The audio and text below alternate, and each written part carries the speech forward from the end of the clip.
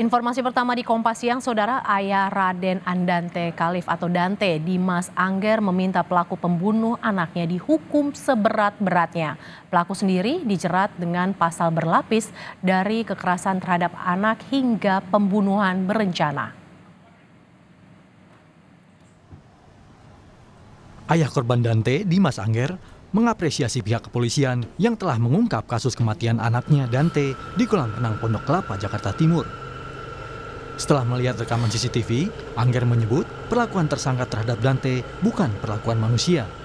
Angger meminta kepada penegak hukum agar tersangka dihukum berat. Itu bukan kelakuan manusia sih. Sangat-sangat kelakuan mungkin manusia purba atau binatang. Gitu ya. Uh, dan maaf aku pakai masker sekarang karena nggak bisa nahan emosi uh, masih masih saya akan terus saya terus akan berjuang demi anak saya yang pasti uh, tadi uh, informasi dari penyidik ya saya minta sih uh, seadil-adilnya seberat-beratnya Penyidik Polda Metro Jaya melakukan olah tempat kejadian perkara yang menewaskan anak artis Tamara Tiasmara. Olah TKP dilakukan untuk memperkuat bukti-bukti perkara kasus tindak pidana pembunuhan Raden Andante Halif. Di lokasi, penyidik mengukur kedalaman kolam renang tempat korban meregang nyawa. Selain itu, penyidik juga menyita rekaman CCTV dan memeriksa pengelola di lokasi. Kasus kematian anak selebritas Tamara Tiasmara masih mengundang tanda tanya besar. Apa yang sebenarnya mendorong pelaku Yuda Arfandi tega menenggelamkan korban yang masih berusia enam tahun? Menurut psikolog forensik Reza Indragiri, polisi patut menyelidiki niat pelaku mendekati korban karena motif emosi atau ingin meraih keuntungan tertentu Reza pun menilai perlu ada pengembangan untuk memastikan apakah pelaku memiliki target selain korban. Sudah punya niatan untuk menjahati anak, maka sudah barang tentu dia harus membangun kepercayaan yang sifatnya manipulatif, baik dari si target yaitu anak maupun dari orang-orang yang berperan sebagai pengasuh anak tersebut. Itu yang pertama. Yang kedua adalah kita tidak bisa juga tutup-tutupi bahwa sebagaimana saya katakan tadi ini sifatnya spekulatif Sesungguhnya pihak yang menjadi target atau sasaran tersangka pelaku ini siapa? Apakah semata-mata berhenti pada si anak ataukah juga memiliki tujuan-tujuan kejahatan lainnya yang akan dia peroleh dari uh, tewasnya anak tersebut? Manfaat tertentu, keuntungan tertentu yang bisa dia peroleh lewat adanya relasi dengan ibu si korban. Hmm. Ini Pasca ditangkap, tersangka Yuda Arfandi telah menjalani tes urin dan kini dalam pemeriksaan polisi.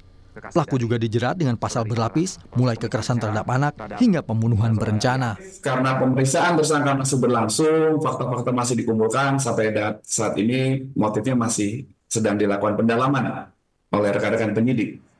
Ya nanti uh, sekali lagi bahwa fakta itu di cross check, diuji satu sama lain ya dari keterangan saksi yang satu dengan yang lain, keterangan saksi dengan tersangka, keterangan saksi dengan barang bukti sehingga uh, triangle of evidence dalam teori pembuktian itu bisa terpenuhi. Sebagai ibu korban sekaligus kekasih pelaku, selebritas Tamara Tiasmara mengaku tak tahu menahu soal motif Yuda Arfandi. Ia hanya bisa menangis saat melihat rekaman CCTV yang menjadi bukti kuat bagi polisi menaikkan kasus anak tenggelam menjadi pembunuhan. Tim Liputan, Kompas TV. Untuk informasi selengkapnya saudara kita terhubung dengan jurnalis Kompas TV Masni Rahmawati yang berada di markas Polda Metro Jaya.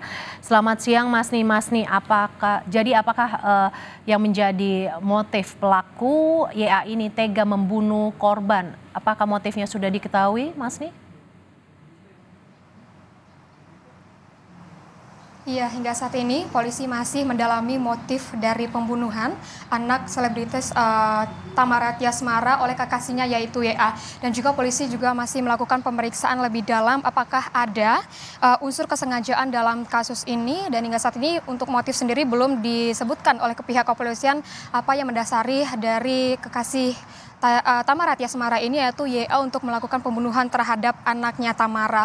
Dari Kombes Pol Ade Safri dari Kabit Humas Polda Metro Jaya menyebutkan bahwa polisi juga memeriksa apakah ada atau tidaknya keterlibatan atau kelalaian Tamara dalam menjaga anaknya dan juga dari pihak kepolisian itu masih menunggu hasil dari uh, Puslap for Polri, uh, dokter forensik dan juga tim digital forensik dari uh, sebelumnya pun dari pihak kepolisian sudah melakukan ekshumasi dan juga memeriksa hasil memeriksa CCTV yang di mana ini menjadikan bahwa YA atau kekasih Najari Tamara ini ditetapkan sebagai tersangka dari uh, hingga saat ini pun hasil ekshumasi dan juga hasil uh, analisis CCTV ini masih belum dibeberkan oleh pihak kepolisian dan juga ini sebagai untuk memastikan apa penyebab dari kematian anaknya Tamara Tiasmara ini. Untuk YA sendiri atau kekasih dari Tamara ini sudah ditangkap pada Jumat lalu dan sudah ditetapkan sebagai tersangka. Untuk penetapannya sebagai tersangka ini dilakukan uh, dari hasil CCTV yang memperlihatkan bahwa YA ini melakukan uh, membenamkan anak dari Tamara uh, Tias Mara ini sebanyak 12 kali dan pemeriksaan masih dilakukan uh, terhadap YA dan belum ada keterangan lebih lanjut dari pihak kepolisian. Selain itu pun dari polisi sudah melakukan pemeriksaan terhadap 20 saksi termasuk terhadap Tamara sendiri dan juga sang pelaku yaitu YA. Dan untuk pelaku atau YA ini terancam pasal 76C Jungto pasal 80 Undang-Undang Perlindungan Anak serta pasal 340, 338 dan juga pasal 359 KUHP yang menyatakan bahwa dari YA ini terancam hukuman pidana penjara maksimal 20 tahun. Dan memang untuk dari kejadian-kejadian dan juga kasus-kasus uh, kekerasan terhadap anak ini atau pembunuhan terhadap ini memang sudah sering terjadi di uh, lingkungan kita dan juga ini kerap kali terjadi uh, dan merupakan ulah dari orang-orang yang terdekat dari Komnas Perlindungan Anak ini meminta masyarakat untuk tidak abai jika ada kondisi atau juga ada kejadian yang membahayakan anak. Ini memang eh, betul-betul harus kita perhatikan. Memang banyak sekali kejadian-kejadian yang melibatkan anak dan juga kejadian-kejadian yang menyebabkan anak sebagai korban kekerasan dan juga korban pembunuhan. Mercy. Mas Nis telah menetapkan Yuda Arfandi atau YA sebagai tersangka, lalu apa langkah berikutnya yang akan dilakukan oleh polisi, Mas Nis?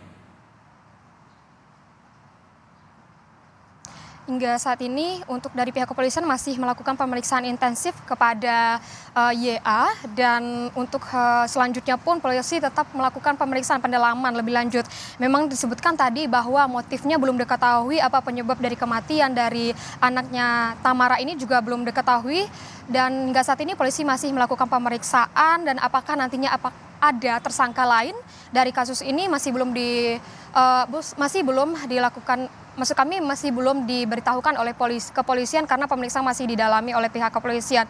Kita masih menanti dan juga menunggu bagaimana sebenarnya dari alur dari uh, pembunuhan yang dilakukan oleh YA terhadap anaknya Tamara Tiasmara ini apa motifnya dan uh, apa selanjutnya yang akan dilakukan apakah ada penetapan tersangka baru atau tidak dan kita masih menunggu dari hasil pemeriksaan pihak kepolisian. Merci.